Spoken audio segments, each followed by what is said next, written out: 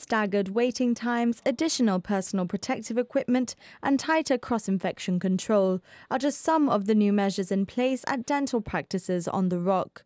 The measures aren't particularly new and come with the new normal territory. However, unlike other businesses that are yet to recover from the effects of COVID, dentists have a backlog of patients to see, whilst also taking extra precautions due to the virus.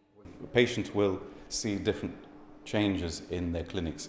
There will be a difference in approach to uh, the period of time before the patient's appointment. So patients will be asked about their medical history, um, specifically whether or not they're particularly at risk to this virus, because that may well influence the time of day or the period or the setting in which they will be treated at the clinic. And it's certainly a balancing act. Though there are patients to be seen, staggered waiting times and extra PPE does cost clinics. It's been very difficult to get hold of some of this protective equipment. Of course, prices have, have gone up through the roof. And that will take some time to settle down, I imagine. But otherwise, in terms of the types of treatments that patients have been used to having, should gradually get back to normal as, as everybody becomes uh, more conversant and more used to a different way of doing things. You mentioned um, personal protective equipment uh, shooting up in price. We've heard that globally. Uh, that's obviously an extra expense for the clinic.